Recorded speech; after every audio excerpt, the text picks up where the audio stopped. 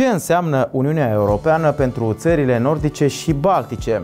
Află direct de la sursă. Te invităm să participi la o discuție deschisă cu ministrii afacerilor externe ai Danemarcei, Islandei și Lituaniei. Alătură-te nouă pe 15 octombrie la centrul Nordec din cadrul Universității de Stat ale Coroso din Bălți pentru o oportunitate unică.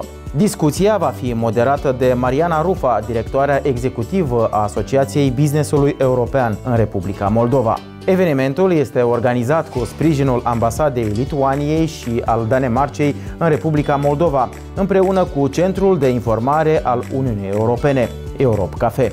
În aceeași zi, ministrii afacerilor externe din cele 8 țări nordice și baltice vizitează Republica Moldova pentru a împărtăși experiențele lor în cooperare și integrarea europeană.